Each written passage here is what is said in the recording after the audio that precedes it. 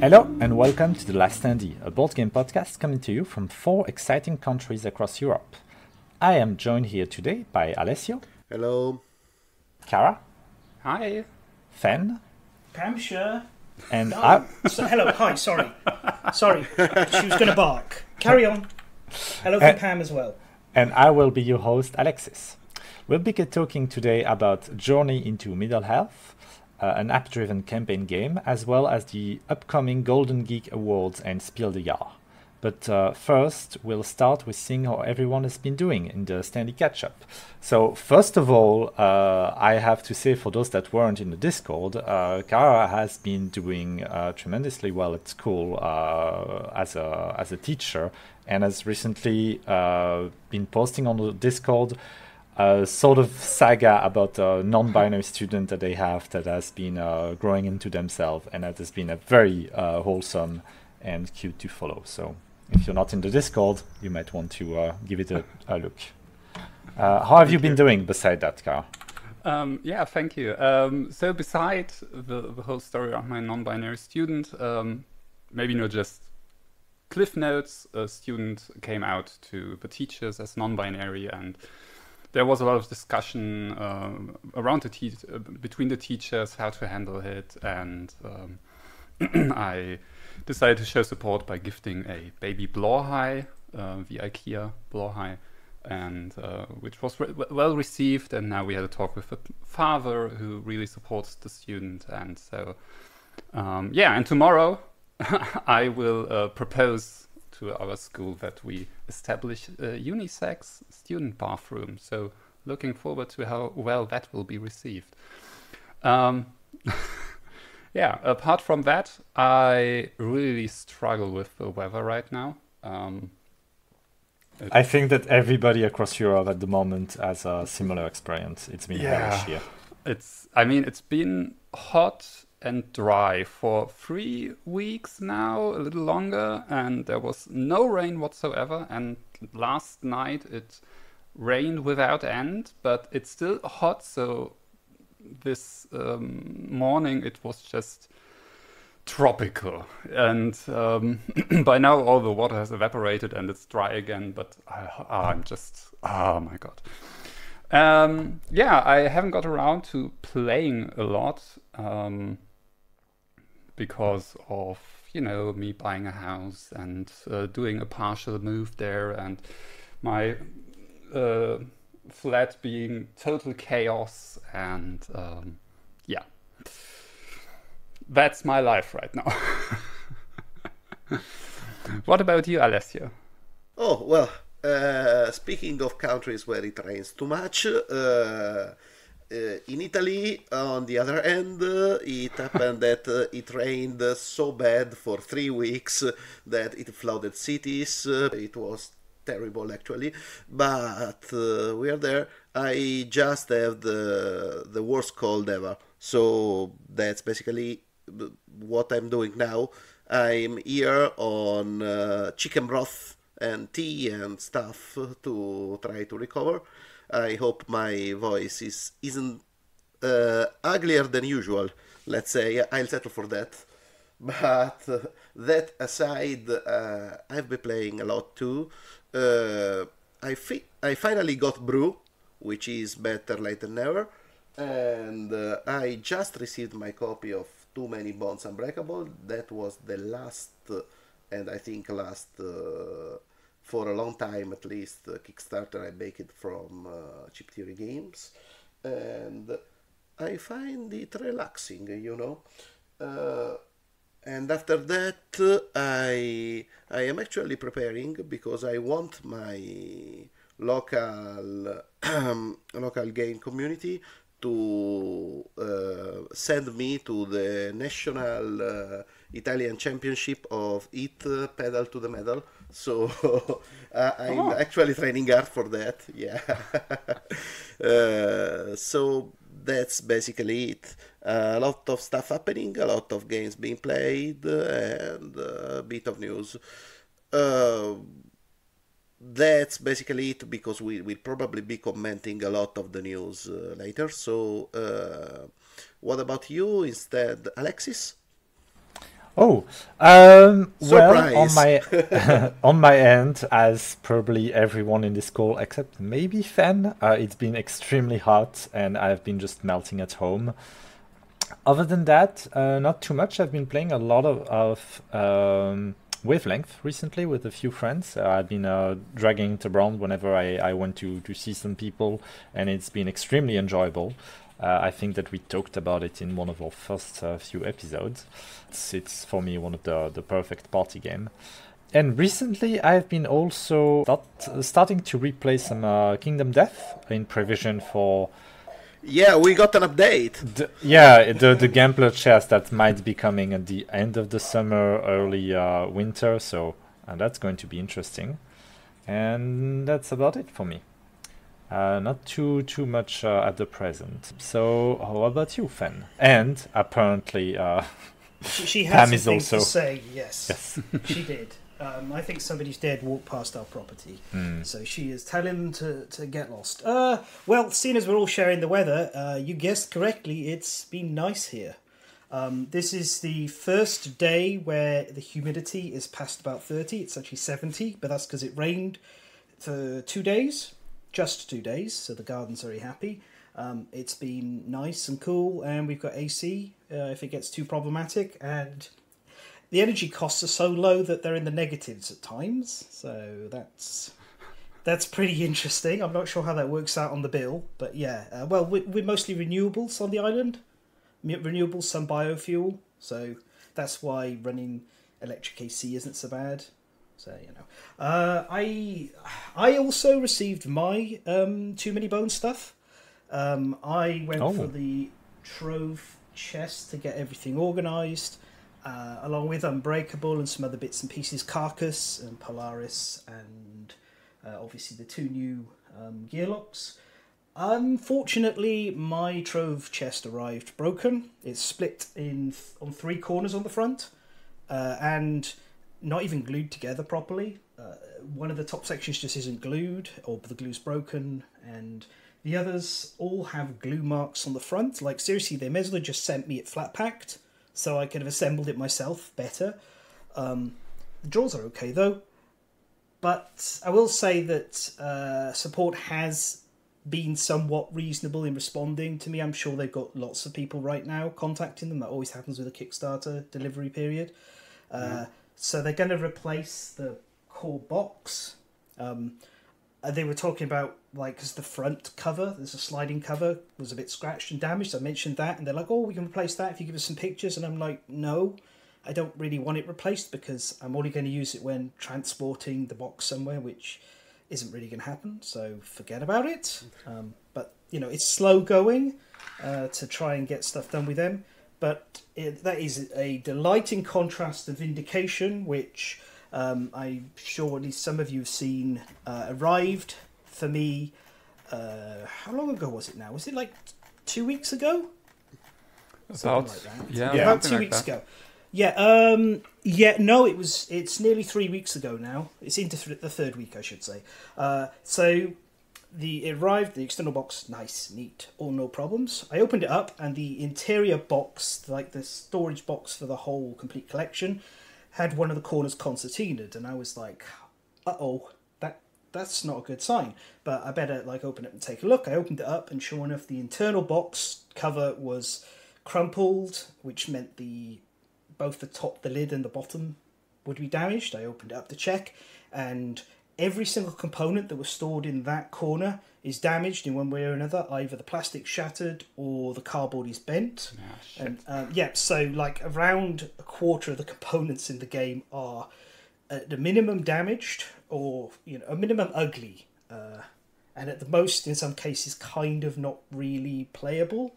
Like the board has a dent in a corner that it's meant to fold out on, so it's like a pain in the ass. I have the um, the neoprene mat, so it's not a huge deal. But I contacted Orange Nebula immediately, and I've heard nothing apart from the automated response of "Thank you, we're very busy right now." And I'm like, "Hey, "This is this is kind of beyond the period I think is acceptable." That that's uh, yeah, that's unfortunate, especially since they're not a small company anymore. Uh, it's their no. fourth or fifth Kickstarter. They've gone they've they've produced a lot of games and you would expect a certain level of quality with uh, too many bones. You definitely have that quality with the component, but you would expect it to have it across the board with uh, uh, customer service too.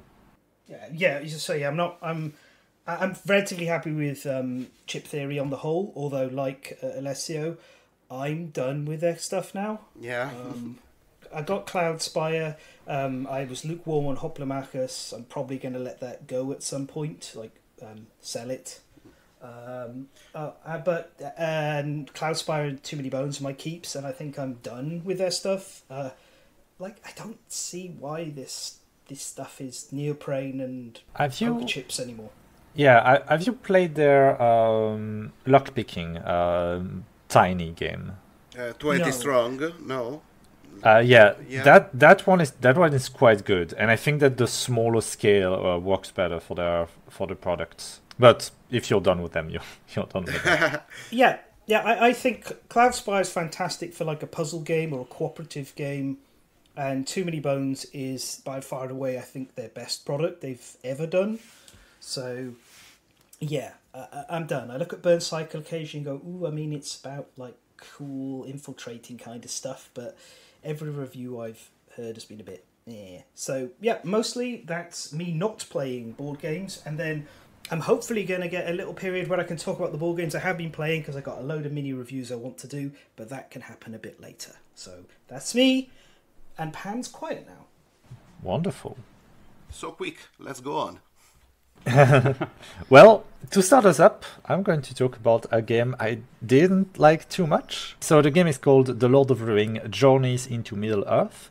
Uh, and it is a cooperative campaign game for one to five player, but there's like a big caveat to that. It's set in the world of the Lord of the Rings, surprisingly enough. It's made by Fantasy Flight and preeminently use an app to handle most of its gameplay. The game is set around a number of adventures within the larger campaign, uh, and right off the bat, I'll say that the choice is a bit strange because it's an original story not linked to any of the books in the um, Lord of the Ring canon. But you can play as characters from all over those books. So you can have a, a story with, Bilbo going into the same adventure as Aragorn, but you do have some original characters too. I found that kind of strange and not specifically off-putting, but it's it's a bit weird to include iconic character that way instead of simply having an all original cast that would better fit the story that they're trying to tell into the game. Uh, especially since I would say that the one of the main attributes of the Lord of the Ring is that that expansive lore, and that people that really enjoy the Lord of the Ring in general know that that lore well. But somehow there's having tho- those characters that, that don't really fit together is uh, is a bit strange for uh, the the attractiveness of the game, I guess. Yeah. Um, Yeah. I, I'll just quickly comment on the characters. All of the extra characters that are in there, every single one of them is in either Lord of the Rings or Silmarillion. They're all canon characters, and I know this because they're also in Middle Earth: The Wizards, which is the best Lord of the Rings game in my opinion. So yeah, they they're um, it's it's a bit weird, but I feel like somebody at Fantasy Flight Games played uh, Middle Earth: The Wizards at some point and went, let's use all of these guys as well, like Haldir and people like that. Yeah, yeah. I, I thought that some of them were were brand new, but uh, it's been a very long time since I, I tried to read uh, Simularium, so I mean, the the Silmarillion is is takes place a long time before Yeah, yeah, yeah. the Lord of the Rings, so it wouldn't make much sense to put. Elves, the elves. Yeah. I, I mean, you, Oh, you can right. you can have There you can have. Bilbo you can have Bilbo fighting alongside Gimli. It's the canon is already gone. Yeah, yeah, yeah, so- yeah. It's like the Lord of the um, Rings card game as yeah. well, where like everybody has a Gandalf, and then you've got like lots, Yeah, yeah. lots of nonsense going on. It's not as cohesive as War of the Ring Yeah. or the new Lord of the Rings War of the Ring card game. Uh, either way, the game has set you onto a battle map made out of tiles, and as you explore, the app will tell you when to put in more tiles, when to do a skill check, what enemy spawns, and what happens when you search through a clue. There's very little rules that you need to understand as you play uh, the game because the app handles pretty much every step of the gameplay. The main way you'll interact with the game is through the skill checks. Uh, your character will have a deck of cards. Each of them has an ability, like an automatic success to an agility check, uh, check for example, or avoiding damage on the next attack or something, or something like that, as well as a success value. Uh, either a star or a leaf. When you have to make a check, you are told to draw a number of cards. Each star is one success. Each leaf can grant you a success if you spend an inspiration token. That aspect of the game functions a little bit like Seventh Continent, the Seventh Continent, except that you are reshuffling at the start of every turn. And because the deck is very small, you can usually track your odds of succeeding over the course of one turn, uh, making decisions like dodging an attack during an enemy turn a bit more interesting because you, you can kind of track how much that will cost you in terms of uh, successes. Uh, because you know that you'll be picking into this, this short supply of successes uh, once again. The successes are not enough to, to, to help you through the game. You really need to gather inspiration that you can do through a couple of means during the game, and and pay those successes by by spending those inspiration points to turn leaf into stars each character class comes from a different deck that you have some equipments that can help you manage your deck a bit better. In between adventure you have a camp phase that allows you to buy new skills and upgrade or exchange some uh, some cards. I wish there was more to say about the gameplay but the all encompassing app takes care of almost everything. The app is very serviceable. It does its jobs competently. There's no narration though uh, at least from what I, I, I could try uh, one thing that it feels hard on though is that it doesn't track the players nor the enemy's position onto the map. And because that app does so much of the gameplay, it feels a little bit weird that this is lacking because the during the enemy phase, the app will go through each enemy, tell you their behavior. So, for example, they're going to move an attack uh, ask if they are able to reach the player they are targeting. If not, they will have a secondary behavior. For so, for example, instead of moving two and attacking, they'll just move four. And it's very convoluted and turn every enemy turn into sluggish, especially if there's a lot of enemies on the map. So you have to look at the map, find the enemy on the map, select uh, select if they they can reach the player or not, and then act if the uh, act the turn of the enemy. Um, we usually had six or seven enemy groups on the map and there were and we grew extremely frustrated with it because when you you simply if, if the, the game simply had one behavior uh, per enemy or a printed out card that would probably uh, be have been a lot easier to track uh, because there's no way to tell two enemies apart. If you have two goblins in the map, you better remember which one you put down first because the app won't know which one is which, and they will have different abilities, uh, HP, armor, and it's, very important to track them to, to play the game correctly, and it adds a lot of uh, confusion. Uh, but I think that's an issue with the way that the game has been designed regarding its player count, because we played with with uh, four players, and every turn of also we had more enemies spawning in, and an onslaught of them filling the map with uh, more en- enemies that we could ever fight off on the first mission. Uh, especially since the game is set on a time limit, with clues spread out on multiple sides of a pretty large map, so we can have had to, to spread around. And if we tried to, to fight every enemies, we just couldn't take the take care of them fast enough. We tried the first time, and we we learned the the, the the hard way that uh, we absolutely couldn't try to fight and we lost the first mission. So we played again and we learned to to rush and ignore everything that wasn't directly re- uh, related to solving the main story. And we played uh, about uh, half of the adventure uh, of the the first uh, big campaign. And it got it got very tiresome after a while. It felt like there was way too much pressure and we ended up having almost every miniature from the box onto the battle uh, onto the battle map, pretty much every mission. Uh, completely overwhelmed all the time. While the story being told was at first about just having a few hawks being spotted, we had to fight the entire Uruk-hai army. After each game, it, it, kind of felt exhausting, and between the interaction with the game being mostly following the app instruction and the story not being extremely engaging as, uh, as far as we've seen, because it's It's serviceable. Uh, it really didn't got any enjoyment out of my group. Uh, I've played it again later as a solo, just for a few missions, and the game is a lot more, a lot better designed for a solo player. So if you buy that one, I would not recommend it to play with more than two people. The game, if you really like the world of uh, the um, the Lord of the Ring, I would say that it's probably a good buy. But I really there's there's so many better games set in the World of the Ring um, uh, world that unless you really need a solo game set in that world and none of the other uh, interest you, I don't really see this one as being that interesting. And surprisingly enough, uh, a lot of people liked it. So maybe I'm just uh, an outlier there. Maybe you're just a curmudgeon. Uh, I want to first of all correct past Fen. There are a few unique, specific characters um, that are new to the franchise, but some of them also come from Fantasy Flight's card game, which is where I was getting my things mixed up. Um, so, like Beravor appears in the card game first, so she's been around for a fair while.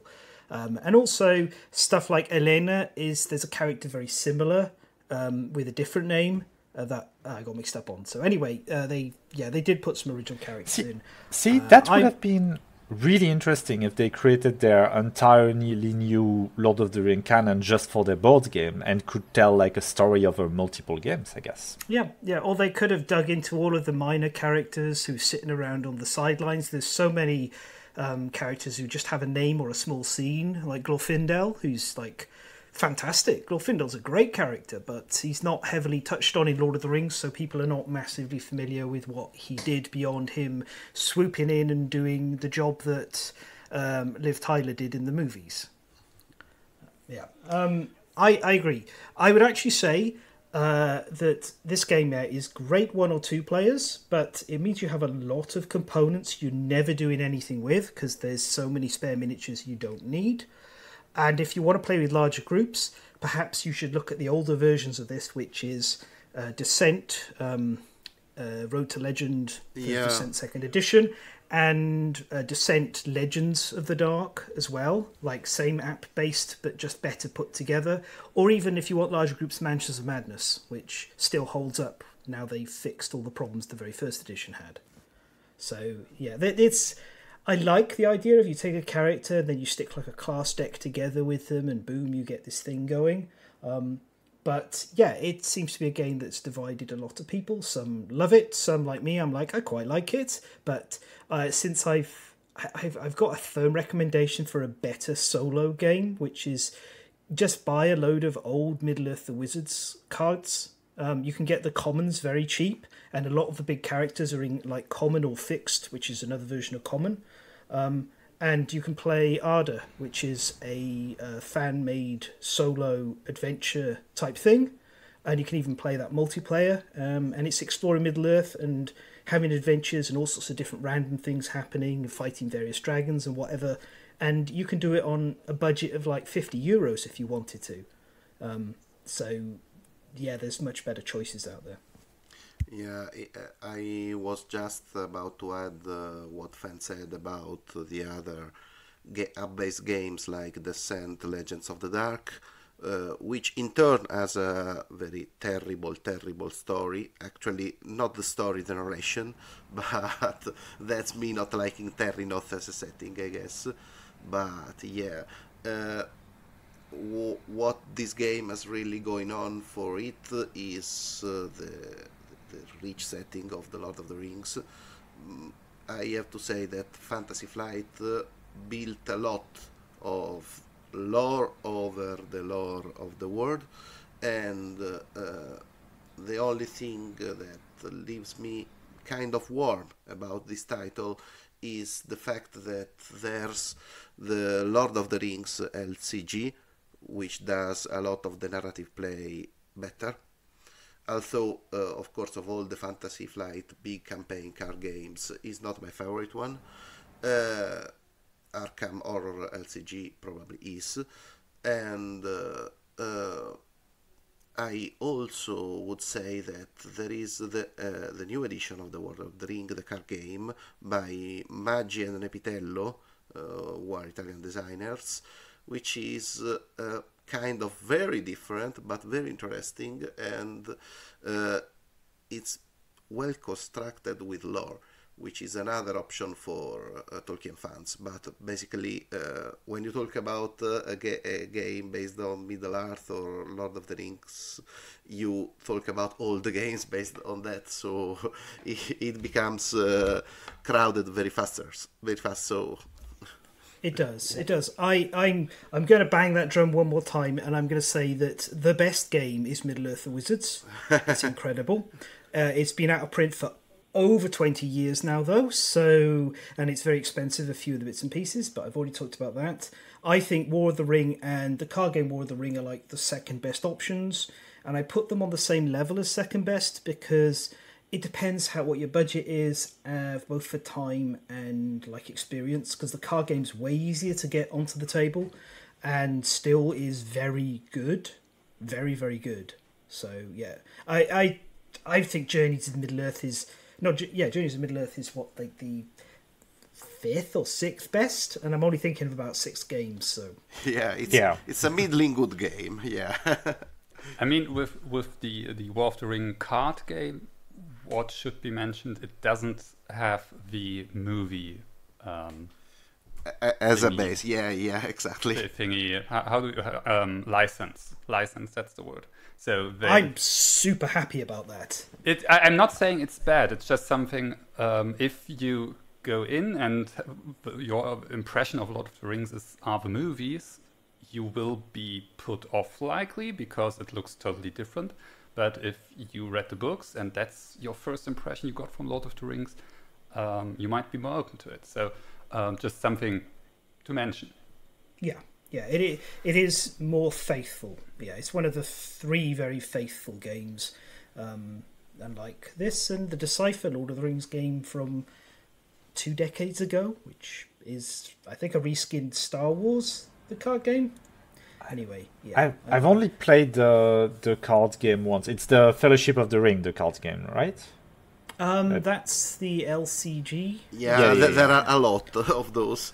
Yeah, th- there's a lot of different ones. I, I think that the, the I, I, played the Fellowship of the Ring once, and it was it was really good. Uh, yeah, yeah, it's uh, it's been repackaged and reprinted with the same design as the new Arkham stuff. Yeah, so exactly. I've been gradually, I've been gradually picking it up myself, like here and there. My problem with it is that unlike Arkham and Marvel Champions, where you are rewarded for building like your own deck and themes and everything, Lord of the Rings, the LCG, the mouthful, asks you to make um, to, to make a deck to beat the given scenarios you're playing in. So it's a constantly moving target, uh, which if you love deck building is amazing. Uh, but I like having pre-built decks. I like my deck building to just be like I build this, and I don't think about the scenarios, um, and then I see how they interact. No, yeah, uh, actually the the the Lord of the Rings the card game I think its its best point is that the scenarios are beautiful. There's one where you are taken prisoner, uh, where you have to recover your gear through various rooms. It's simply beautiful. I, I think I never seen something like that uh, in, in a card game, even with the location mechanics of Arkham Horror LCG this one, uh, the scenarios are simply so good. Well, Fen, you had a few games that you played uh, recently, haven't you? Yep. So I haven't been on the podcast too much recently um, because of health issues, but also because I've been swamped with lots of other stuff. So I've got a backlog of games I'm going to go through briefly. I'm going to leave one of them out because it's in our next topic, and I'll talk about it there and why it should have won the category it's in. Um, but here we go. So we'll start with from Gabe Barrett, uh, The Forgotten Road. This is part of a trio of, of little solo and two player games that I picked up. Um, it was a cheap Kickstarter. I just did it because I liked the artwork. Um, the other two are The Last Stronghold, which is like a cut down version of Stronghold, that big game from. Is it Stronghold Games?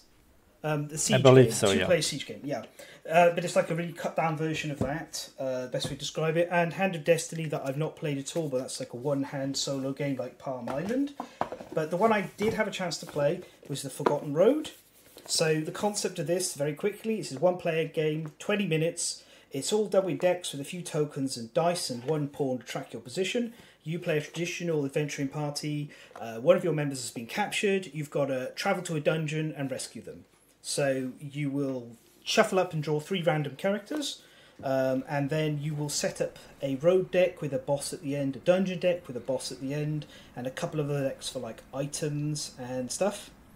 And then you will uh, lay out this road, and it, visually it's quite like fun. The spatial way that the road is created is each card has icons on the left and right of it in the top, and they line up and match. So that'll give you this is how many. This is like what uh, what you need to achieve to get past this given uh, thing in the way, or um, this is uh, this is what damage you'll suffer, etc. This is what the monster is, and so you you gradually have this unfolding line of cards that build up to construct the road that you're going down, and then at the end you'll fight the boss.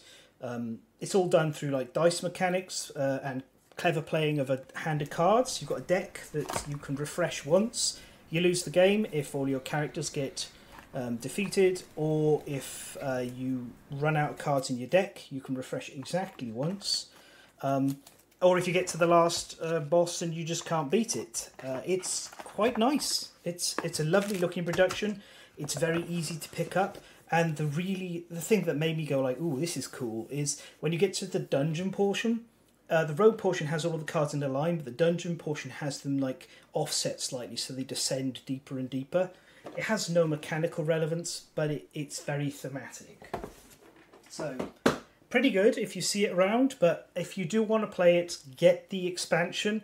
It's an expansion for all three of the games, but it adds more characters, more variety in bosses, and that's very much what the game needs if you're going to be playing it a lot. Which, at a 20 minute solo game, you may well be doing that. Uh, then we've got Doomtown. I'm not going to go into full details about Doomtown. This is an old card game. It's been around for a long time. It had a relaunch in 2014. It's had a relaunch recently. Um, it is they've released a cooperative set of scenarios and solo play, so you can play against solo decks, and you can pretty much put a deck together, and the bot will handle the deck fairly well. It's actually a, one of the top five card games of all time, in my opinion. Um, for, for reference, the others are Magic the Gathering because you have to put it on the list. Netrunner, I don't like it, but everybody says it's great. It's great. yeah, yeah, it, it's great. Uh, Ashes, re, uh, Ashes Reborn, Ashes with Red Rains is like incredible. And um, I've already talked about number one. It's Middle Earth Wizards. It's the best card game ever made. Collectible card game, trading card game, living card game. Better than all of them. Uh, anyway, so uh, that came out, and the sad thing is they changed the texture of the cards. They used to be linen finish. Now they're this slightly greasy touch, which is ugh. Um, uh, but if you're sleeving, it's fine, and the game is incredible. It's just really good. But I wouldn't get it if you're just going to be playing solo. Um, it is at its best played competitively against other players. It's almost a board game in a card game form. Really, really good. Binding of Isaac, uh, that arrived, and then I got the solo cooperative expansion stuff printed. There are a bunch of cards on the website. I don't know if I've talked about it in the past, but I'm going to say I don't massively care for the the Munchkin genre. Um, but Binding of Isaac, played in the solo and cooperative scenarios, which you can play two player, you can either play them one or two player, is amazing. The scenarios change the rules, they really give you a lot of focus and things to do. The negative is you you have to set up the decks. If you're just going to play with like a random pile of the cards that you've got, it is overwhelming. Uh, it's too many cards, I- and yeah. I've only played the not cooperative one. Uh, that it, that felt very much like Munchkin, just a little bit better. It is, yeah. It's Yeah. Munchkin, but a little bit better because they've uh, they've nerfed the pile on the leader problem. But Um, But you- though, yeah, Mm. you you recommend the cooperative one uh, wholeheartedly then? yeah, yeah. If you Wonderful. if if you're willing to print out the cards, or in my case, I got them printed by MPC, um, and they all arrived and they look fantastic. The way it changes all the different scenarios and the texture of the game is fantastic. Uh, it's just like I have the full, complete, blah blah blah edition, and it is it's too many cards. So I would kind of recommend just getting the core box set, not maybe Four Souls expansion, and and then playing the scenarios one or two player. They they definitely a lot of replay value there. Uh, yep, and then my last really quick one is two games in one, and that is they're the same system with some twists. Uh, they are Pathfinder Adventure card game and Apocrypha, um, the world. Uh, so Pathfinder Adventure card game, I think, is done by Drive Through Cards and Paizo. Um, I'm going to mostly talk about Apocrypha here. This is a one to six player cooperative adventure game. Uh, you can play it in a guided mode, quote unquote, where somebody plays as a GM. It's bad. Ignore it. Forget about it. But as a solo game or as a cooperative game, it's really good.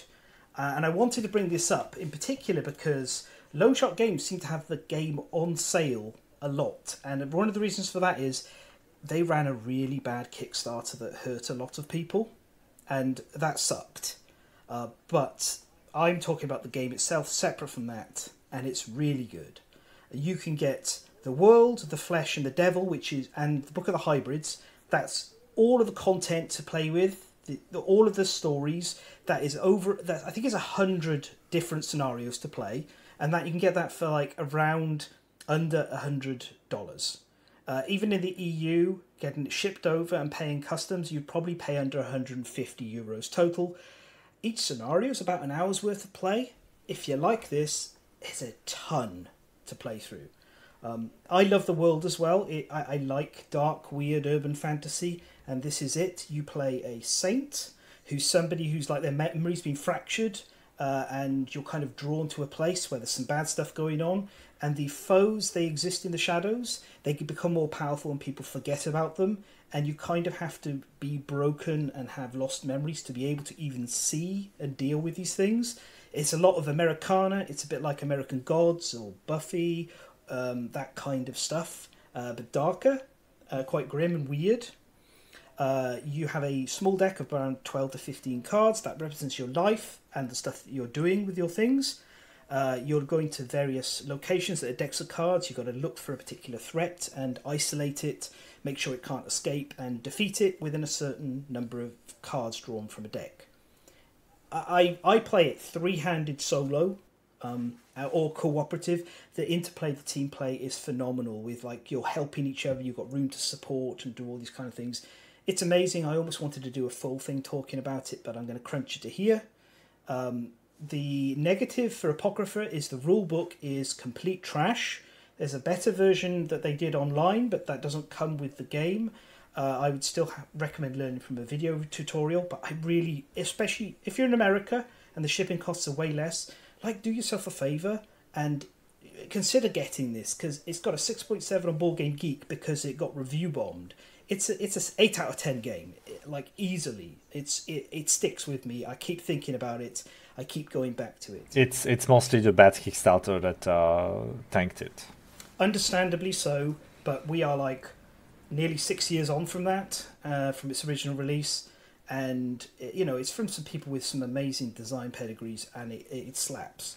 Alternatively you can get pathfinder. Um, it's a slightly less complex game. The advantage of pathfinder is it's more traditional fantasy and you're hunting like uh, bandits and dragons and stuff like that. And your characters level up. In apocrypha your characters only get stronger by you changing your deck around which it's like almost like a legacy game both of them like gradually the decks that saints have and the characters have change death can occur and you can't play that character anymore. If you run out of saints, it's game over entirely. Start the whole thing again. Um, yeah, so that's it. That's the games I'm reviewing here quickly. Uh, and I think you know if you like adventure games and you want something, um, Pathfinder Apocrypha is really good. Uh, the one downside with Pathfinder is it got redone to a second edition uh, in 2018, I think 2019, and it's only had one expansion released since and they changed the graphical interface so it's compatible mechanically with the older stuff that came before it, but visually they don't look the same.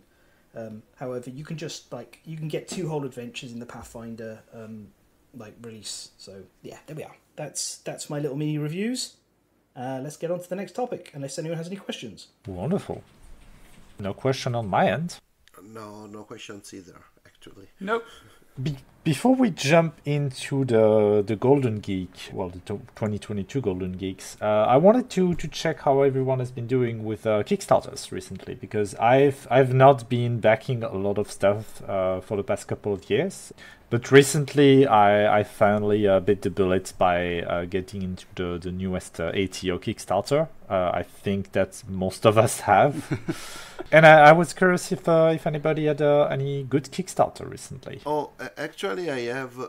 I wanted to talk about them when we talk about the Golden Geeks because a couple of them are improved version of some of the Golden Geek runner-ups. But there's Witchcraft on uh, GameFound, which is by by David S. Thompson and Trevor Benjamin. Uh, it is uh, witch themed, but it uses the same card mechanics of Resist, which is actually pretty good uh, card mechanic. So yeah, Resist is really good. Yeah, exactly. So so I I, I really dig it, and uh, that uh, one project I backed, I think uh, at the moment of, of recording, there are still a few days on the on the GameFound campaign, and uh, after that, I think uh, I oh uh, it just launched the campaign for uh, another game. Uh, let me check it because I didn't. Uh, from the author of Voyages, anyway, the solo game you can print at home, they made another one which is beautiful because it looks like charting a course of, an, of a tourist map. It's called uh, Waypoints. and it looks interesting. And since these are Kickstarter, which are basically delivered spot on because it's printed at your home, it's pretty interesting too. So, uh, these are the, the, the, small things I found uh, lately. Yeah, uh, I would say that uh, Postmark Games, you can just basically jump into any yeah. of their Kickstarter, uh, eyes closed. All three of them have been, well, all two of them so far have been uh, stellar. Well, yeah. Um, for myself, I oh sorry, Kari, you go ahead. You, you, go, you go ahead. I'm, I'll be back in a second, so you go ahead. So um, for me, I am trying to limit the amount of uh, crowdfunding projects I back simply because I came to the realization that basically every open project that hasn't fulfilled yet is like weight on my mind. So something that I, I carry with me, and uh, yeah, it's just um, you, you to have less and um, yeah, I'm I'm one of those people who have a lot of open um, crowdfunding projects. I think I'm yeah I'm over forty. Um, yeah, you you also been very unlucky as they all have been uh, very yeah. delayed. Uh, and um, so with my plan to back less um, this year, so since January I have backed 10 no 11 crowdfunding projects which is less than 40 um, yeah yes, so uh, yeah, progress. Um, but what has definitely changed, it's less board games. Um, so of these 11, only five are actually board game projects. The others are uh, comics or one for pins and stuff like that. Yeah, p- pins are usually easier to deliver than, than board games. Yeah. Um, the most recent um, Kickstarter I backed uh, actually came as a bit of a surprise for me um, because it's the uh, newest uh, Kickstarter from Unstable Games. Um, at this point, I forgot the name of the newest one, but I have talked about um, them before when we talked about Unstable Unicorns. And there I also touched on why I'm not backing more of their games. Um, because I, I, really like the art and I enjoy the games. They are not very heavy or very intricate as far as I can tell. But what really turned me off was all their Kickstarters basically are the same. They have this $25 light card game and then they have the $170 all in Kickstarter exclusive FOMO bundle um, that you can only get during this Kickstarter, and that just turns me off. I, I really hate how they handled all of that. The game's Um, name is A Command of Nature. Yeah, Yeah. yeah, it's very cute. I, I agree. I, I I'm very happy we're seeing a bigger swing back against Kickstarter exclusives, which of course used to drive people to back on Kickstarter, and now there's more people who are getting quite like, uh, I'm I'm fed up with this, and um, I'm not I'm not interested. I I'm, Yeah. I like uh, uh, CMON. I'm not backing CMON stuff anymore because I'm fed up with their Kickstarter exclusives. People talk about how great Cthulhu Death May Die is, and in fact, like one of my role playing group tried to get us to play it, and I was like, I'm not interested. I don't want to play because if I like it and I know I like the setting, I can't. I, I can't pick up all the stuff except on the Yes. secondary market. So no, I'm not playing it. Yes, and especially with these unstable games, games, it's like okay, you you have this retail version that has it's just you know as an example, it has six characters in it, and the Kickstarter exclusive version had double the numbers, and that's uh, I mean, come on, yeah, and um, they. During their current Kickstarter, they suddenly started a. Um, they they basically sent previous backers emails um, asking them to um, answer a survey where they were looking into how do people feel about Kickstarter exclusive that are limited to a certain campaign. And after a while, they decided, okay, we listen to you. We will make Kickstarter exclusive content still exclusive to Kickstarter, but it will be available at least the, the gameplay content will be available in other campaigns from us. So with the current campaign, you can, in the Pledge Manager, get Kickstarter versions of their old games. And in addition to that, they offered previous backers a $10 um, credit for the Pledge Manager. So I was like, okay, yeah, yeah, you got me. when I can have the option to, you know, get the core games of their games in the Kickstarter version, have a $10 credit, and if I really like a game and say, hey, I want expansions for that, so the next Kickstarter from them, I will grab the expansion. That's I, something I can deal with. But um, so yeah, i that's really something I appreciate that they took a step in the right direction there. Yeah, it's really good. Um, for myself on Kickstarters, I am quickly going to, uh, to like punt and say, um, Studium is close to finishing. It's a new boss battler from a Seattle-based uh, company. Uh, it's a family company. I've chatted with Matt Wheeler, the guy behind the game, behind a lot of it, uh, and the campaign when it launched had, as people have called it in the comments, a lot of red flags. Um, and these are red flags, in my opinion, because of a lack of experience from the people putting it up. This is like a real mom and pop, um, you know, family kind of project of passion. It reminds me of Kingdom Death's like very first Kickstarter, when it was kind of like here's some models and this like tiny board, and now we know where that is. So um, that's one of those ones that I I wholeheartedly recommend people follow uh, and consider pledging for a dollar uh, if you're interested in boss battlers and maybe like keeping an eye on late pledges and stuff because I've played the TTS demo and there is some like really good special stuff in there that's new to the boss battling genre and Mac has asked me if uh, it's okay if he contacts me and I provide feedback on boss design along the way which I've agreed to because um, I, if this game turns out to be good, it's got separate hit location decks for each body part. That is so cool. You you like if you're in front of it, you can hit this thing in the head or in its weapon, or if you're like on the sides, you can hit its arms. It's yes, that's like something that's always been weird in Kingdom Death, where you stab a lion from behind and hit it right in its face. And it's like, okay, I can kind of stretch my imagination of how that happened, but then you get to the Sunstalker and it's so big, and you're like, You, you know, you Um, always so- hit the lion in the fuzzy groin anyway.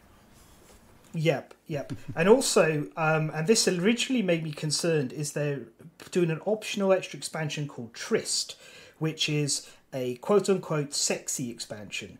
But what it actually is, is they wanted to write some more adult themed stuff into board games because that's an area that generally people only go into adult stuff of like titillation and this has some of that but they wanted to more explore like romances between characters and you know have a more traditional uh, acceptance of nudity and like making it more normalized and okay to be nude.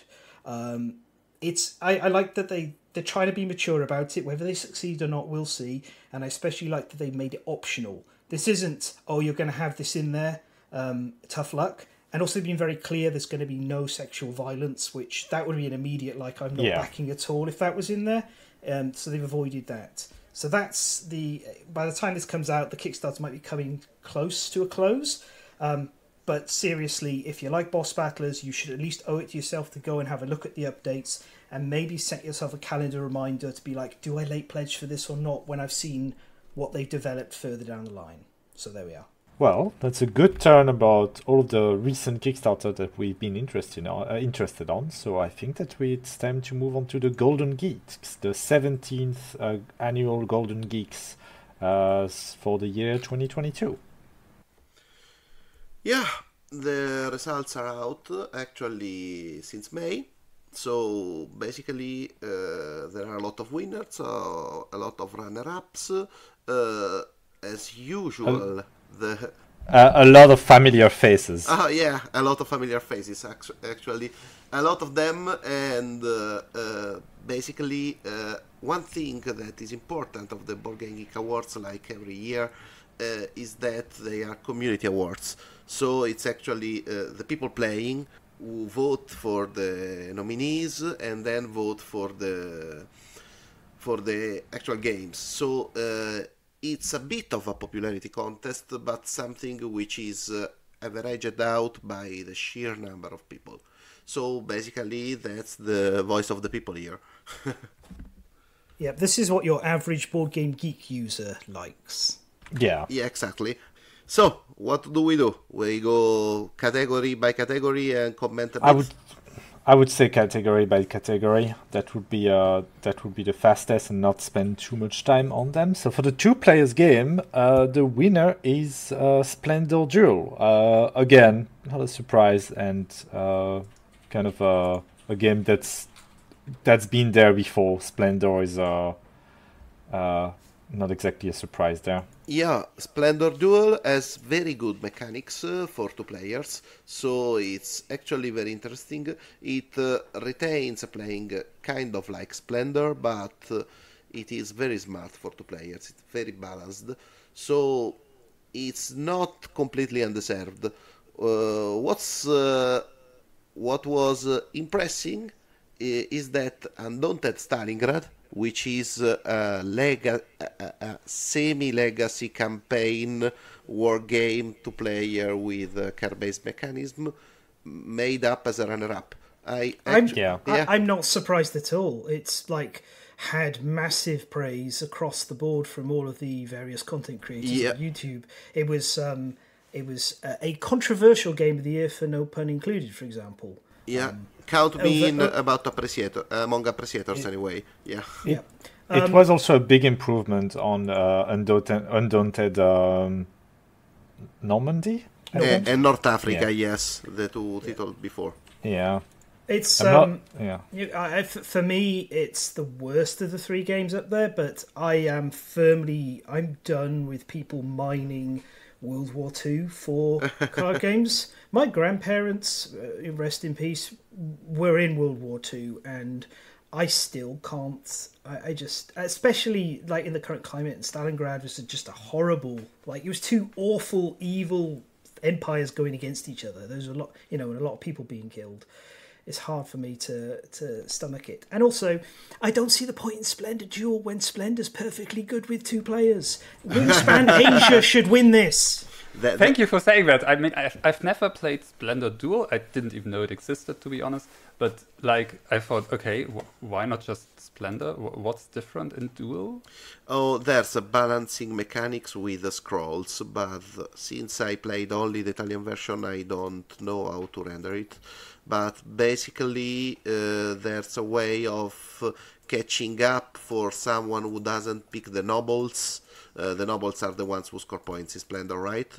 Uh, apart, uh, okay, uh, you have a catch-up mechanics in the scrolls, which allow you to score points in a kind of different way and uh, award different strategies. So it's actually smart. I, I find that uh, I played a lot of Splendor in uh, Board Game Arena,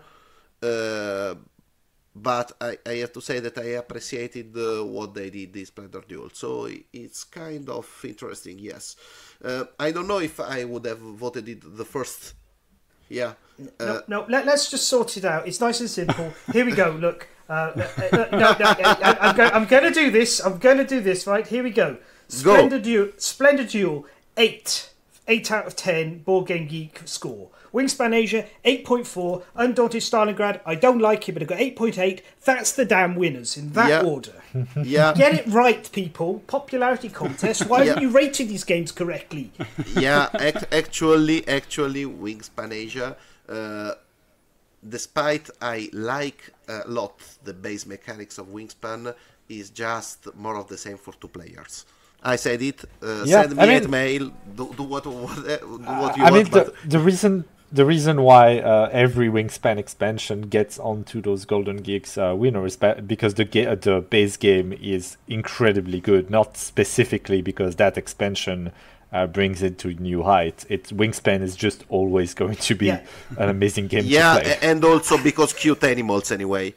Yeah. Oh, Let, us get on to the, la- the next yeah. category before we fire more shots. I'll... Like every single one of these is part of a franchise. None of them are new games.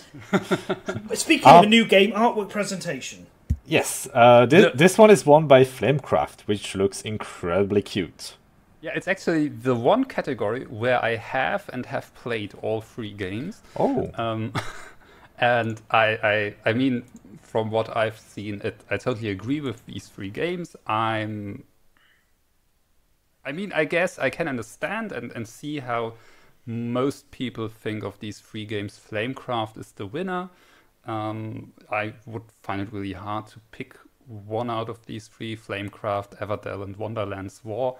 They are all just beautiful I've been uh, really interested by uh, by Flamecraft. I have opinions. Uh-huh. Yeah, I, I, I surprisingly. Yeah, yeah. Okay, Wonderland's War is pretty, but I find it really generic. I don't think it's an impressive piece compared to the other two. Everdell, the complete collection, is a complete collection of stuff that was mostly released in the past and should be disqualified by default.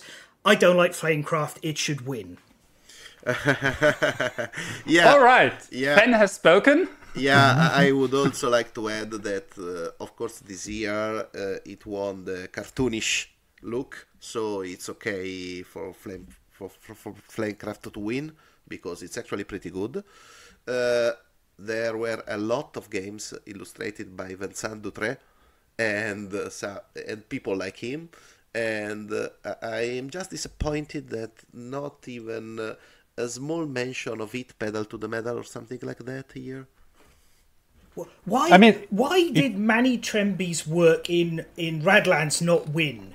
Yeah, when, also, when yeah, yeah, or Dice Throne. Why is it Wonderland's War that people? Yeah, so I, I agree with you. Yeah. well, he heat pedal to the metal as like two or three other nominations. So. Yeah, he's winner in two categories. Uh, so hey, we'll yeah. get there. Spoilers. Yeah, we will get there. We will get we're there. Now we're now onto the really controversial topic of cooperative games. Get, oh, get yeah. in the box. Get in the box.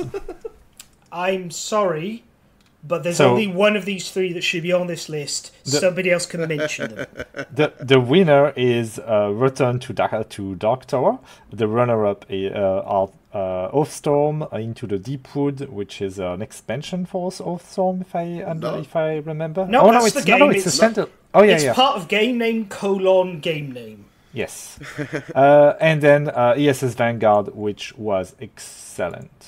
Yeah. Um, for me, I don't I don't think Return to Dark Tower should be winning. People seem to really like it. I think it's a bit of an extravagant, like over excessive mess, and it's an app game, which I'm not actually snobby about. But um, I mean, I played the original version of this, and eh, you know. I mean, if it's an extravagant mess, it, it's it's talk, fitting it, for a franchise. Yeah, yeah. Talk about it, sure, and put it in the, the things. But why are people putting this behind Oathsworn?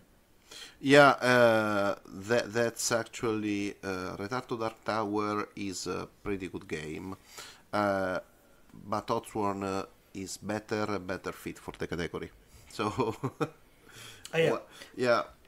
And uh, I, I'm also a bit disappointed that I didn't see ATO here actually, but Well, it's I it think came that's out. a In, 2023 game, really. yeah, yeah. uh, well, it arrived in November, December, so Not only for some people. They Oh, didn't arrive okay, to me okay. until uh, January. Yeah. Well, with that argument, ISS Vanguard shouldn't be on this list because there are some people out there in the world who are still waiting. like me, I'm, like I'm, me.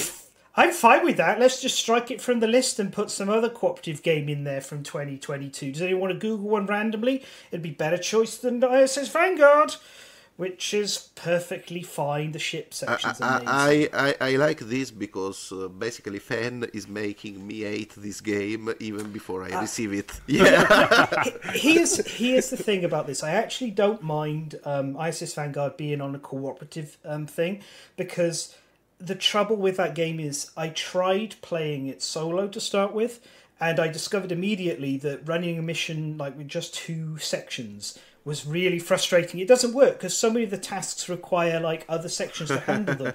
the, the missions are all centered around like needing all four members of the away team, which makes sense. Yeah. I like that. I mean, But it's too uh, much to play solo for sections.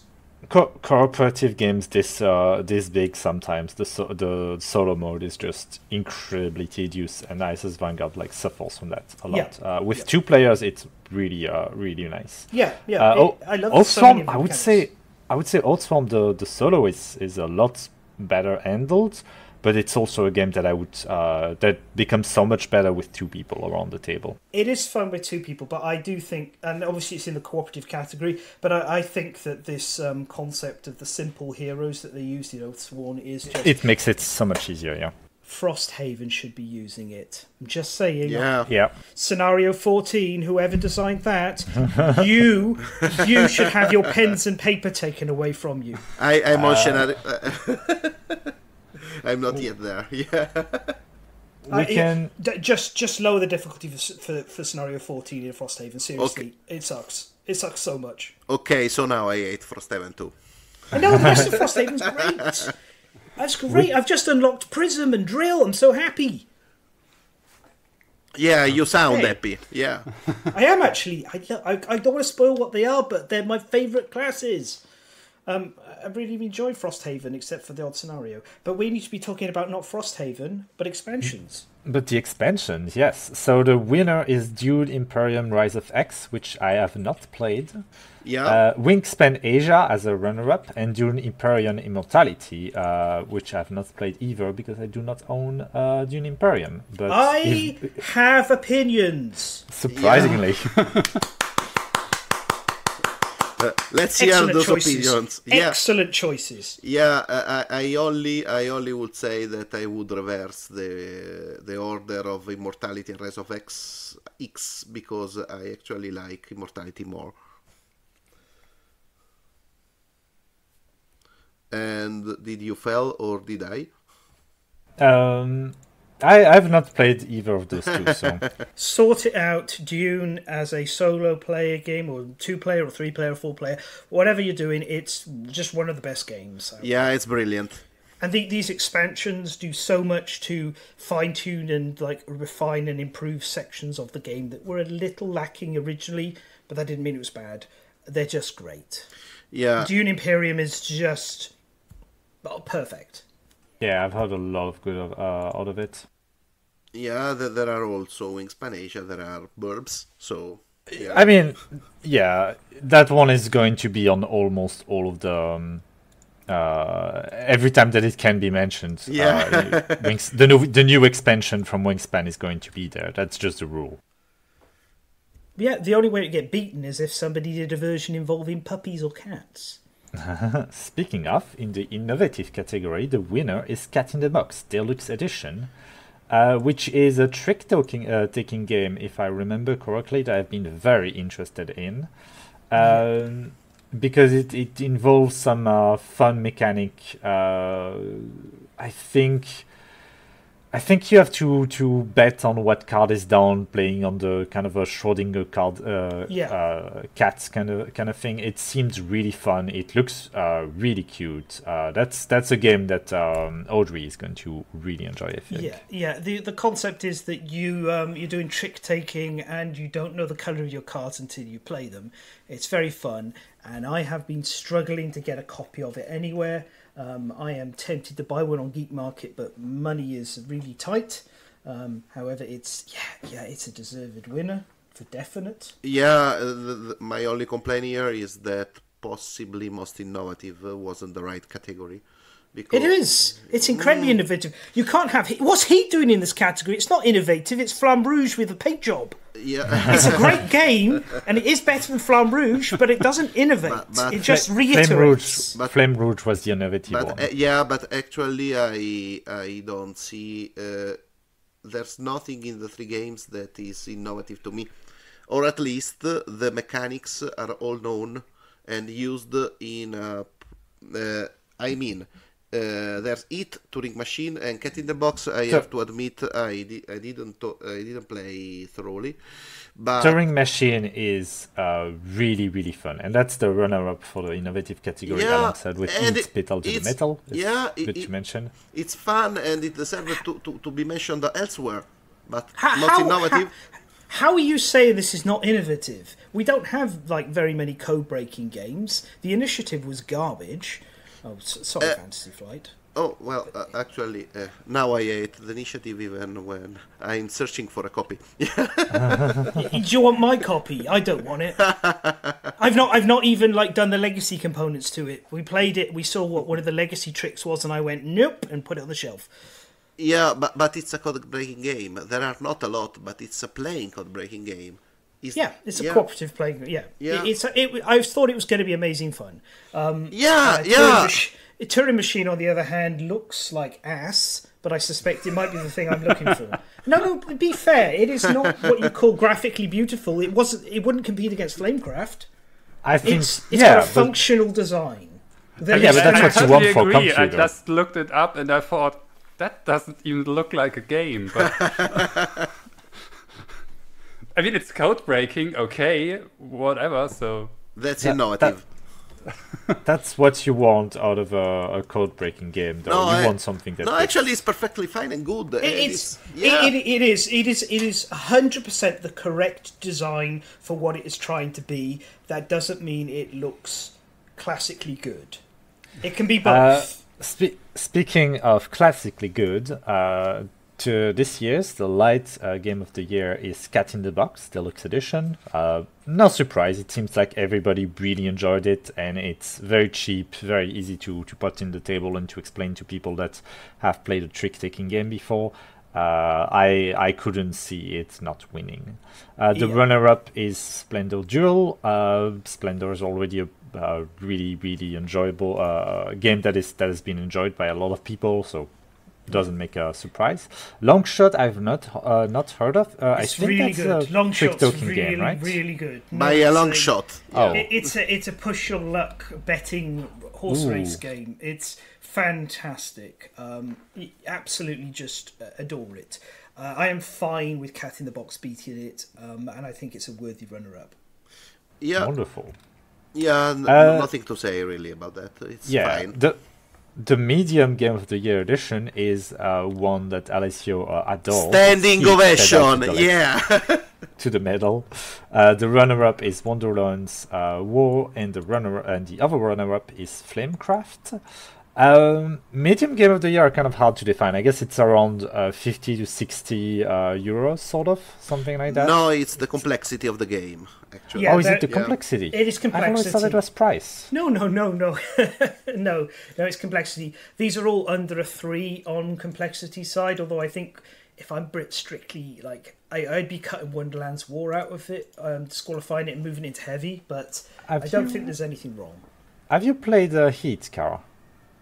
No, Ah, too bad. I've, I, I've because- actually never played like a, uh, a run uh, A racing game. racing game.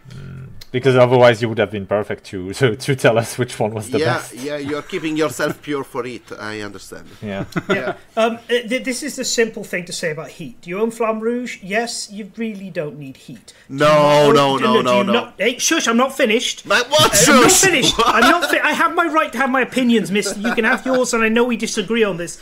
But I think if you own Flamme Rouge, I don't see the point in owning Heat. But if you don't own either, you should get Heat. Yeah, a- a- Yeah. actually, they play a bit different. In Flamme Rouge, you don't want to get fatigued, while on Heat, you are managing your hand to. because you actually need hit cards to perform feats, so it's basically a balancing what you have and what you have left in your deck. In your deck, so it's a bit different. I, I Heat understand. seems to be the yeah, more that- interesting it's- out of it the builds two. over it, but uh, it is the better game. Yeah. Right. So on the heavy game of the year, we have uh, Carnegie as a winner, and then we have Endless Winter, uh, Paleo Americans, and John Company Second Edition. I have not played any of those. Uh, Me neither. sounds- It's, it's I very bought three. simple. The fact that this list doesn't have John Company Second Edition winning is an absolute travesty. Yeah, uh, so Carnegie is uh, is very well deserved. I, I think uh, that it's the best heavy Euro game I saw since uh, uh, Chain Magnate. It's even better than Great Western Trail, and I appreciate it a lot. Uh, it's very good. It's also uh, a fake heavy euro, not because it's not heavy, but because uh, the, the rules are so clear and there are no exceptions whatsoever, which is not not a thing you can say about other heavy euro games. That is uh, a pleasure to play. Actually, uh, everyone should have a game at it. It's also on Board Game Arena, so it's easy to play. Uh, beautiful. Uh, about John Well, Company, given- yeah, about John, Co- yeah. Uh, G- you go. given that it's uh, heavy on the on the um, John complexity Com- scale, I don't know if it's an easy game to to I don't- start playing. Uh, John Company's the only one of these three games I would genuinely call heavy. Like Yeah. uh, the other two, uh, I definitely don't think Paleo Americans is particularly heavy. Uh, I think that should be in the medium category. It's the, definitely the lightest of the three at a three point two five. Yeah. even on Board Game Geek. Um, I know stuff doesn't reach a five very easily. Like there's a huge steep curve for complexity rating, and you you know once you get enough votes, you just don't see anything getting a five.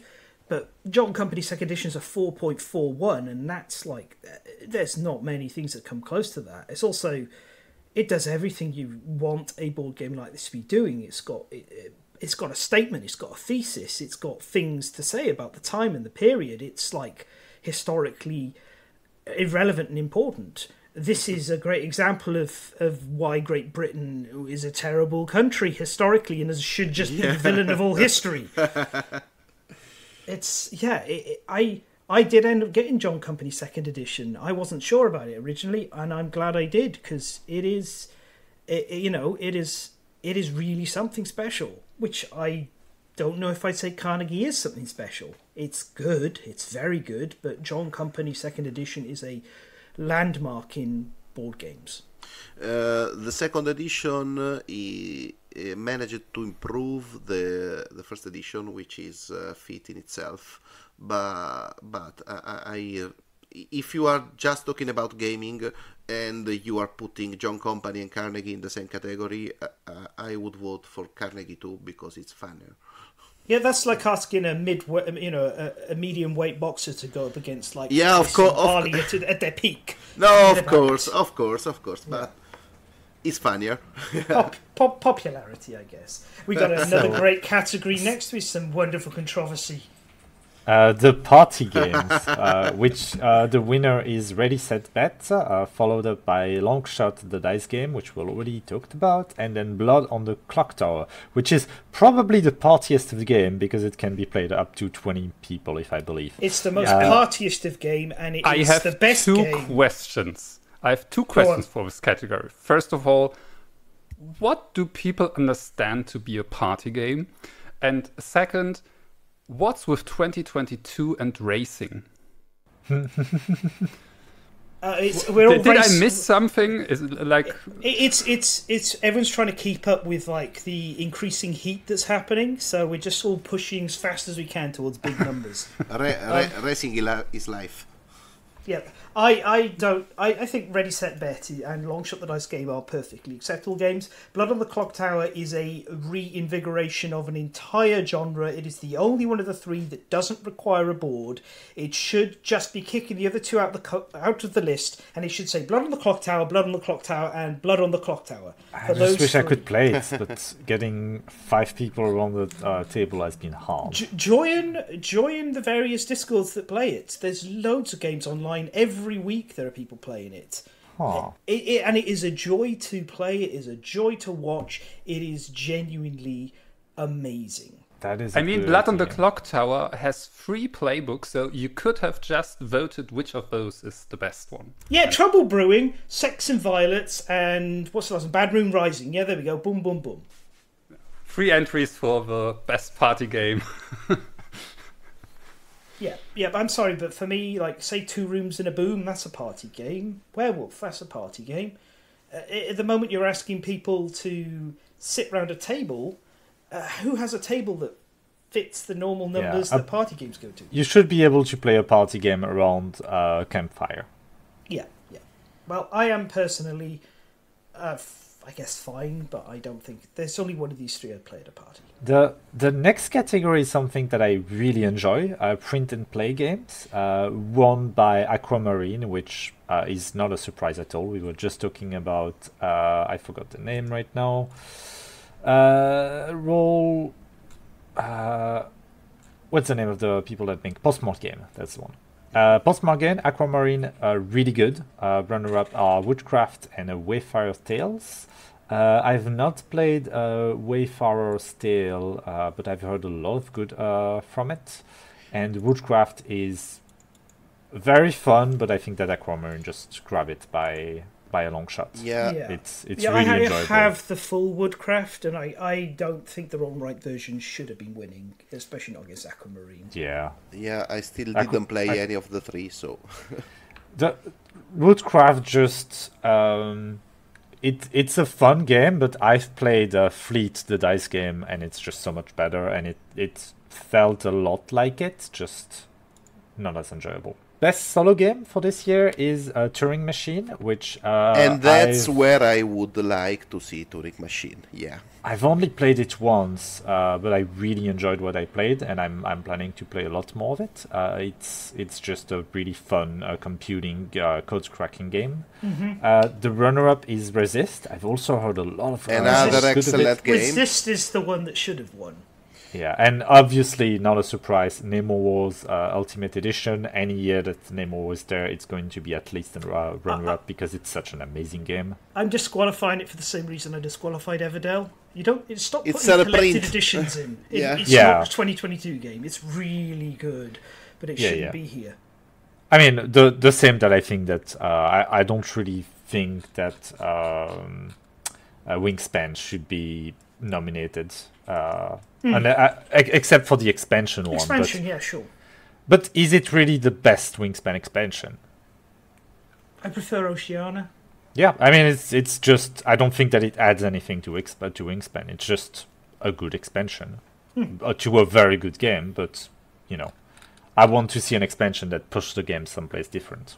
Yeah. Uh, in any case, that's not the talk. The talk right now is still on uh, Resist. Uh, have you played it? I've been curious about it, but I'm not a big fan of war games, so I'm not a big fan of war games either. I've played it. I really liked it, and I prefer the theming to it because it's quite different from your usual Yeah. kind of I mean, stuff. you It's- play as it's the like- Resistance, so It's like Maquis as well. I wouldn't Yeah. normally play Yeah. games like that, but Maquis is um, something. It's doing something different and unusual. For the ticks boxes for me. So yeah, yeah. Yeah, they are different, but okay, it's the Spanish maquis actually, the res- resist. But uh, yeah, they are different, but they they have kind of the same feeling. Yeah, they are innovative and they're good. But anyway, the, the engine of Resist is actually wonderful, and this is where I would have to say, uh, would have said that there's witchcraft on uh, GameFound, and it's built on that engine, and it's it, it it looks very promising. So have a look at that. All right, I'm curious about that one. Uh, for the next category, it's going to be a fight to the death between No. uh, between Fen and Alessio. No, No, no. there, The there's winner- no there's no contest. Heat pedal to the metal will win this. The only question is why Wonderland's War is on there. no. So it's uh the best thematic game. Uh, Yeah, Heat yeah. Pedal to the Metal with runner-up Wonderland's War and John Company's second edition. Uh, I don't think John Company Second Edition would be able to win a category like this. It's good enough that it's been nominated. yeah. Uh, Yeah. Actually, uh, Eat Pedal to the Metal uh, has a beautiful theme, and the the mechanics are perfectly serving the theme. But that's it. There are, uh, if you just uh, look at the depth of the team, uh, there are, there is a lot better around. So it's okay. I, I'm happy that uh, Eat won another another award, but uh, it's actually thematic, uh, very thematic. But I don't know if it's the best. So. It's certainly the best. There's no contest. It's the best for sure. I, I'm not. Uh, go- I'm not going to pretend just because I've got Flamme Rouge and, and I prefer that, and I like cycling, and I prefer Formula D over Heat. Um, I'm not going to pretend that it shouldn't win this category. It should. It's the best thematic game that came out for the general audience. Oathsworn's the best thematic game that came out. In Yeah, 2022. exactly. Oathsworn has a lot of theme, and there are a lot of others which are There's- best. there's better, so many- yeah. There's so many fantastic games, though. I think that people are kind of uh, tired of it. Or familiar with. So yeah. Yeah. Yeah. It's also Oathsworn had a limited release, and it's not only going to get into most I- people's hands with the next Kickstarter, the cur- the one that just finished. Last year, I could see ATO on the most thematic game because Mm. of how much it goes into actual, uh, or how much it uses actual mythology to build itself uh, and to create its world. Yeah, it's Uh, I- really deep on the theme front for sure. Yeah, I could I could see uh, it go there. But uh, for now, we move on to the next category, which is a war game and an actual war crime, because they picked uh, Undaunted Stalingrad over Vote for Women Oh, yeah. and see, uh, see Resist. th- this is kind of funny because strictly speaking, all three of these games are not what your grognards would call Oh, yeah. a war game. Yeah. which I kind of love. But Vote for that- Women, I was surprised that it got onto a It war is, game. But it is it is a war game. It is absolutely a war game. It's a war game with a political theme, of, and I have it, and it's Yeah. right here, and it is amazing. Solo, superb. Two player co op, brilliant. And you can even play it two player against each other if somebody doesn't mind being against votes for women, which does cause some people cognitive dissonance. It is gorgeous. It is smooth and easy to learn. It is uh, politically significant. Uh, it is going into something that we don't see a lot. So I'm really happy to see it on these lists. I don't think it would should win this category, but I'm kind of secretly pleased it's I- on War Game because it was a honestly, war. I would have seen Vote for Women win the innovative one. Yeah. It should have won something. I, I don't know because the truth is this is like Twilight Struggle kind of. It's that kind of style of game. It's not super innovative on that front. It's very much area controlling by playing cards. Um, so yeah, but it's not just about the gameplay. Like the thematic is is also really. it's Oh, the- really really good on the theme front. Yeah, di- didn't it come with like uh, newspaper clips and stuff? Yeah, it's got tons of clips and flyers and bits and pieces. Yeah, Um, maybe the maybe the thematic. Yeah, maybe, easily. maybe. Yeah. It's it's got some beautifully cute little like um, meeples for you to appreciate. Women waving flags, or uh, this awful man in a top hat shaking his fist. It's it's great. It's so good. If you get a chance to play it, play it. Yeah. So the next category is the best podcast, and we are proud to announce uh, uh, ourselves to have been not nominated at all. the winner is uh, This Game is Broken, followed up by uh, Beyond Solitaires and One Stop Co-op Shop. I just I've like to listened thank our to one any listener them. for nominating us into the general category. Uh, automated via machine, but yeah, we weren't ever going to win this, and this game is broken. It's a very good podcast. I've I not mean- listened to any of them. Yeah, I mean, neither. I mean, I don't honestly, I don't understand how people can listen to podcasts, which is kind of weird to say on a podcast. Thanks, Cara. Yes. Thanks. Hi, welcome to the Last Standee, where we question what on earth are you doing listening to us? What, are you doing with your life? What went wrong? Actually, I listen to podcasts when walking my dog, um, and or when I'm doing stuff where I can't look at a screen, like when I'm painting and things like that. But I Yeah. tend to listen to. Uh, I like video game thesis more than anything else. Um, people talking about like video games, so. Um, I, I've listened to this game is broken enough to be like, yeah, they're very good. They're very, very good. And um, I. I listen to so many podcasts whenever I cook, whenever I, I take a walk, whenever I, I walked on a trail or I, I go to walk. I just I'm always listening to something. Uh, that's ADHD for you. Yeah, yeah. It's it's like, oh my god, I'm on my own. Uh, please, someone fill the void. Talk about something, anything. Yeah, no, for, for me, like if I don't see the person talking, I, I'm I'm just tuning out. So it's it's actually really hard when when friends send me voice messages, like on Signal, like a two minute voice message. It really, oh, I really need to concentrate to to to uh, listen. Um, because if if I don't concentrate really hard, I just I tune it out and then it's over and I think, fuck, what did they say? Here's So- here's here's a quick pitch for you, right? Put Kara into a horror movie with like whispering hauntings, and just there's the ghost being all horrifying and terrifying, and uh, and and there's Kara tuning it out, It's just like and someone's like, "Did you hear that?" And she's like, "What? Uh, uh, no." I couldn't see what was saying anything, so I thought it's not worth paying attention to. The- Yeah, that's neat. and there's this poor sad ghost. Yeah, there we are. It's called the depressed ghost that nobody wanted to listen to. there we are. Uh, Wes Anderson can do it. He does titles like that. Has uh, for the last category of the Golden Geeks, it's a best board game app. Uh, I've not played with any of those three, but No, the that- winner is Everdell. They are three runner-up great is apps. Yes. Hero Realms and run and the second runner-up is Roll Player. A Roll Player actually I've played the game uh, all of it and it's a really good game and I could see it being adapted into a really good uh, the, app. the app is excellent. Yeah, I yeah. The app is really good, although it was not very good when it first came out. So it's not doing great on reviews. It's starting to improve a bit. Everdell had the same problems when it came out. It, these games are kind of putting them on Steam has just sort of brought in this audience of people who expected something different. Um, I will say I am really hope that they do Roll Player adventures because that's Oh, that so would good. be nice. I, I mean to talk about it because like I I got it to play through and talk about on the podcast, and it's it's like Legacy of Dragonhold but but better, and you can completely generate a character in Roll Player to take them off through, all the way through Roll Player adventures. Um, yeah, yeah. I, I think all three of these apps are perfectly fine. Um, although Hero Realms for me, like, it feels like that's been out forever. Uh, Uh, but Yes. it's 2022. I just feel like it's been uh, uh, the digital version's been around forever, but I could just be miss. I mean, like maybe it's been in early access. no, I, I think that the app uh, is not, or I'm mm, confusing it with Star Realms. Star Realms is from this year.